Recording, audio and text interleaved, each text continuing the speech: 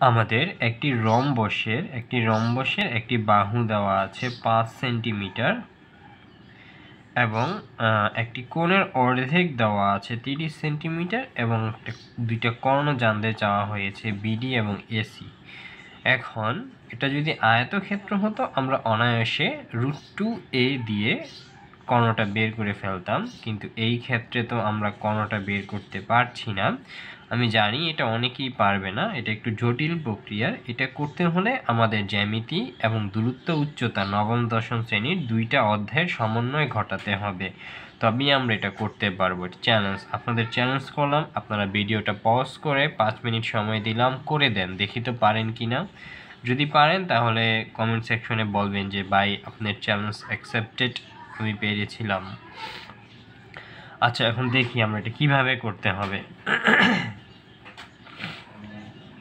এটা একটা রম্বস কিন্তু হ্যাঁ? এটা একটি রম্বস। এটাও এ এটাও এ এটাও এ। এবং আমরা জানি রম্বসগুলো পরস্পরকে সমকোণে ছেদ করে, তার মানে এগুলো নব্বই ডিগ্রি করে, প্রতিটা কোণ নব্বই ডিগ্রি সমকোণ। এবং আমরা জানি কর্ণদয় একটি কোণকে, কর্ণ একটা কোণকে সমদ্বিখণ্ডিত করে, তার মানে এটা ত্রিশ, তার মানে পুরোটা হবে সিক্সটি ডিগ্রি। এটা যেহেতু সিক্সটি ডিগ্রি আমরা জানি রম্বসের বিপরীত কোনো সমান হয়, তার মানে এটাও সিক্সটি ডিগ্রি এবং সিক্সটি সিক্সটি একশো বিশ, আমরা জানি একটা চতুর্ভুজের চার সমকোণ হয়, একটা চতুর্ভুজ কি হয়? আর তিনশো ষাট ডিগ্রি হয়, একটা চতুর্ভুজ তিনশো ষাট ডিগ্রি হয়, অর্থাৎ চার সমকোণ হয়। তার মানে তিনশো ষাট থেকে যদি আমরা একশো বিশ বিয়োগ করে দিই, তিনশো ষাট থেকে একশো বিশ বিয়োগ। শূন্য, চার, দুই, দুইশো চল্লিশ, তার মানে ওরা দুজন দুইশো চল্লিশ করে আছে, সমান সমান ভাগ হবে দুইটা, তার মানে দুইশো চল্লিশকে যদি আমরা দুই দিয়ে ভাগ দিই, তাহলে কিন্তু একশো বিশ পাওয়া যায়, তার মানে এটা একশো বিশ, এটাও একশো বিশ। তো আমরা কোনগুলো বের করে নিলাম? মূলত আমাদের অঙ্কের সুবিধার্থে। তো এখন আমাদের মূল লক্ষ্য হলো এসি বের করা। এখন এটা যদি একটা কর্ণ যদি জানা থাকতো, আমরা কিন্তু পিথাগোরাস দিয়ে এখান থেকে বের করে ফেলতে পারতাম।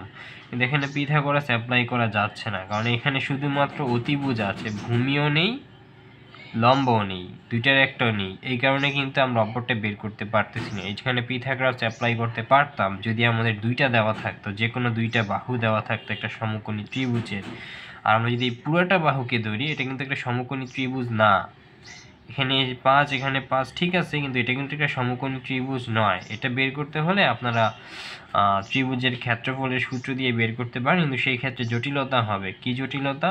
ওই যে root over s into s minus a s minus b s minus c আপনারা চিন্তা করতে পারেন যেটা দেওয়া যেতে পারে, কিন্তু না, এটা আসলে দিলে হয় না, আমি করেছিলাম, অনেক ঘিজিবিজি হয়ে যায়। এই জন্য আপনাদের কি করতে হবে, এটাকে বর্ধিত করতে হবে। বর্ধিত করলাম আমরা কি পর্যন্ত? A B C D E পর্যন্ত বর্ধিত করলাম। এবং ডি বিন্দু থেকে ইসি এর ওপর একটি লম্ব আঁকি ইএফ একটা লম্ব আঁকলাম ইএফ তো এখন এটার উচ্চতাও আমরা জানি না, উচ্চতাকে আমরা এইচ ধরলাম এবং এটার ভূমিকাও আমরা জানি না, এটাকে আমরা এক্স ধরলাম।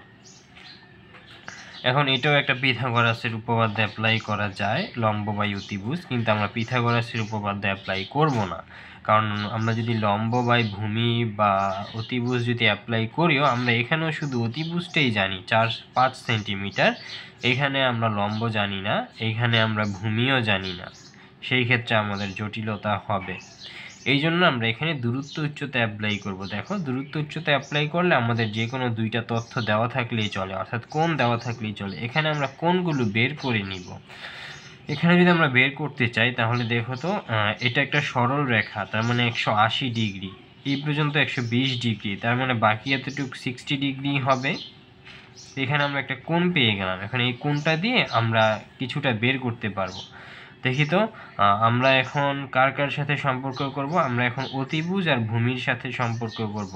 এটা হলো কোণ, তার মানে এটা, এটাকে যদি আমরা কোণ ধরি, এটা লম্ব হয়, কোণের বিপরীতটা লম্ব হয় এবং কোণের সাথেরটা অতিভুজ এবং ভূমি হয়। তার মানে ভূমি এবং অতিভুজ ধরলে আমাদের কস দিতে হয়।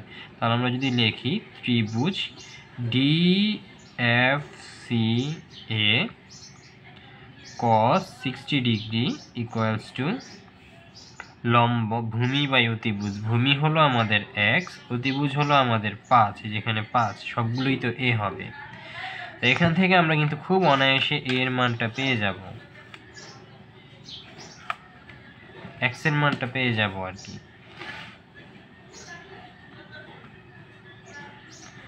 এখন আমরা করি cos সিক্সটি সমান দিই হাফ হয়। cos sixty equals to half half one by two না half equals to x by five সুতরাং আমাদের এক্স বের হয়ে গেল ফাইভ বাই টু আমরা এক্স মান পেয়ে গেছি ফাইভ বাই টু এখন আমরা এইচ এর মান জানতে চাই। এখন যদি আমরা অতিভুজ আর লম্ব চিন্তা করি, অতিভুজ আর লম্ব লম্ব বাই অতিভুজ, এটা হলো সাইনের ঘটনা। তাহলে আমরা সাইন দিয়ে দিব। সাইন সিক্সটি ইকুয়াল টু লম্ব বাই অতিভুজ হলো ফোর সরি ফোর না ফাইভ বারবার ভুল করছি ফাইভ সেন্টিমিটার ফাইভ সেন্টিমিটার তো আমরা এখন সাইন সিক্সটি দিব সাইন সিক্সটি সমান। অনেক বড় একটা সংখ্যা আসছে বাই করতে চাইলাম হলো না, এটাকে স্কোয়ার করে দিলাম স্কোয়ার করে দিয়ে বাই দিলাম তারপরে রুট থ্রি বাই টু হচ্ছে। Root three by two equals to h by five সুতরাং উচ্চতা হচ্ছে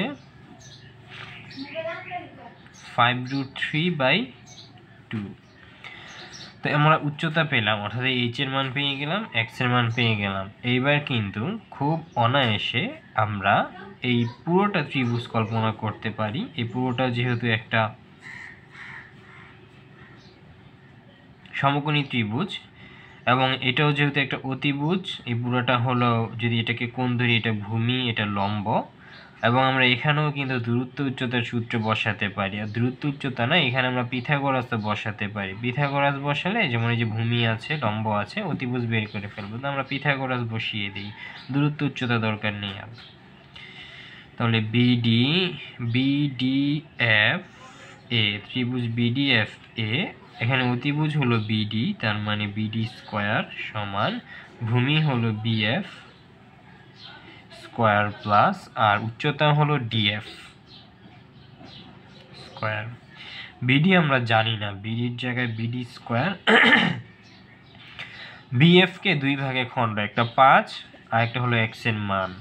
তার মানে এটাকে আমরা পাঁচ যোগ এক্সের মান five by two square DF এর মান একটু আগে আমরা বের করেছি five root three by two square এটাকে যদি আমরা লসাগু করি, তাহলে টু পাঁচ দুগুণা দশ যোগ পাঁচ স্কোয়ার প্লাস এই জায়গা হয়ে যাচ্ছে পাঁচ পাঁচা পঁচিশ, তিন পঁচিশে পঁচাত্তর ভাগ দুই মানে দুই না চার।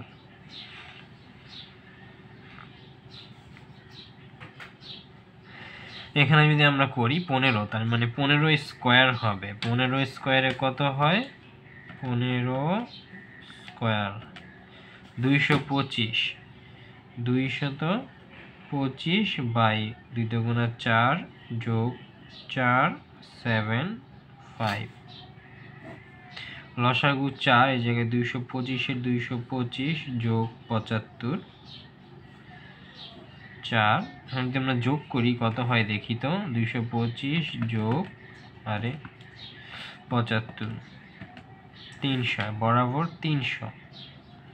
তো এটাকে কিন্তু আমরা অনায়াসে ফোর দিয়ে ভাগ করতে পারি। আমরা যদি ভাগ ফোর দিই, পঁচাত্তর হচ্ছে। ভিডি স্কোয়ারের মান পঁচাত্তর, তার মানে ভিডির মান কত? রুট পঁচাত্তর। আমরা পেয়ে গেলাম যে এই কর্ণটির মান হলো রুট পঁচাত্তর। এখন রুট পঁচাত্তর যদি করি, আমরা এটা দশমিক আসবে, তো আমাদের দরকার নেই দশমিকে আনার, আমরা রুট পঁচাত্তরই দিয়ে রাখব। অথবা এটাকে আমরা ভেঙে যদি লিখতে চাই, তাহলে এভাবে লেখা যায় যে আমরা জানি তিন পঁচিশে পঁচাত্তর এবং পাঁচ পাঁচা পঁচিশ, ভেঙে লিখি পঁচিশ গুণ তিন, তার মানে ফাইভ রুট থ্রি তার মানে এটার মান বেরোচ্ছে আমাদের ফাইভ রুট থ্রি তার মানে এর অর্ধেকের মান কত?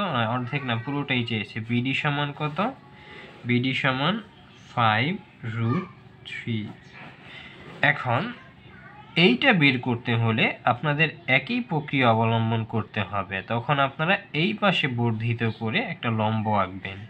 এই পাশে বর্ধিত করে একটা লম্ব আঁকবেন, তখন এটা একটা ত্রিভুজ হয়ে যাবে। সেম সেম এটাও আপনাদের একই প্রক্রিয়া করতে হবে। এটা যেহেতু এক্স হয়েছে, এটার মানও এক্সই হবে। এটা যেহেতু এইচ এটার মান এইচও হয়ে গেছে। আপনারা এখানে এক্স আর এইচ আগে থেকেই জানতেছেন। তো সেই ক্ষেত্রে আপনারা কিন্তু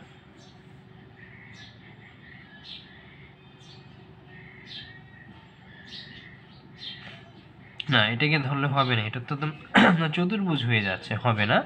আপনারা এই দিকে একটা লম্ব আঁকতে পারেন। এই একটা লম্ব আঁকলেন। তো এটা কিন্তু পাঁচ ছিল। এখন আপনাদের এতটুকু দরকার। এটা যে অর্ধেক হয়েছে এমন কোনো কথা নেই। এটাকে আপনাদের অন্য একটা ধরে নিতে হবে। এবং এখানে কোন কিন্তু আপনারা জানেন কত। এবং এখানেও কোন কত এটাও আপনারা জানেন। এখানে কত ছিল? একশো বিশের অর্ধেক ষাট। এখন ষাটের অর্ধেক তিরিশ ছিল। এখানে কোন জানেন, এখানে কোন জানেন।